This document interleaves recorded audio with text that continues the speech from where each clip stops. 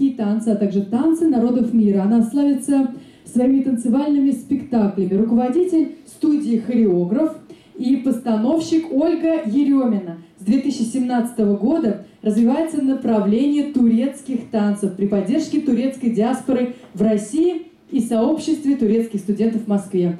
Ну что ж, сегодня премьера турецкого народного танца. Встречайте танец халай!